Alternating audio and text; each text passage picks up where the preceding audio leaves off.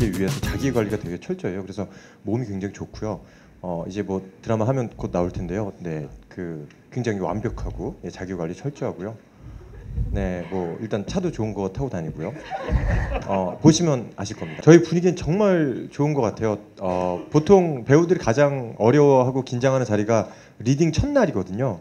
근데 저희는 리딩 첫날 첫 회식 자리에서 부터 게임을 하기 시작했어요. 보통 어, 리딩하고 나서 작가님 생각은 어떠신지, 감독님 생각은 어떠신지 되게 긴장하고 있는데 그 자리에서 이 자리는 참석 안 했지만 최재환 군이 있어요. 영태 역할 맡은 최재환 군이라는 친구가 어, 게임 그 눈치 게임 1을 시작하면서부터 굉장히 친해졌고요. 지금도 카톡방에서 하루에 한 2,000개, 3,000개 정도의 대화를 나누면서요. 도대체 이 사람들은 대본을 언제 보는지 또 언제 다 외워갖고 이렇게 연기하는지 정말 신기하더라고요. 네, 어, 분위기 정말 좋습니다.